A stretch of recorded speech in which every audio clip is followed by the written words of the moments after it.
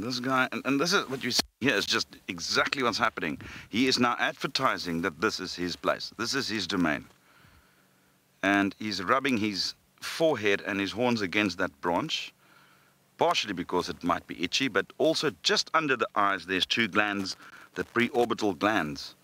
And they give off scent, which will tell other wildebeest walking past that branch that this area is occupied. But in addition to that, he's also at one of his showcase posts, a little sandy depression that is dug out, and he's just often they would lie there, and there will be a lot of scent around. He'll urinate there, he will defecate all around it, and that will just leave that layer of scent that is just very, very strong and pungent. Especially if you're another wildebeest, you'll recognize it instantly. They also use vocalization to advertise their territory. They've got this hum sort of noise that sounds almost like a a chainsaw that's being started up.